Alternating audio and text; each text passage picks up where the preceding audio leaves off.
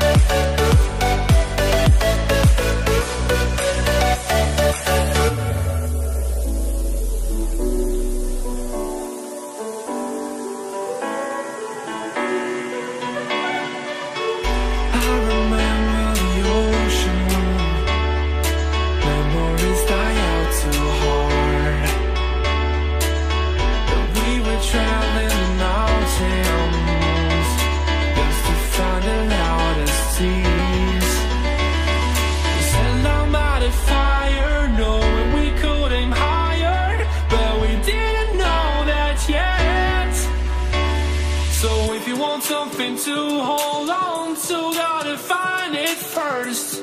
But here I am, cause I've been laying under palm trees waiting for the summer.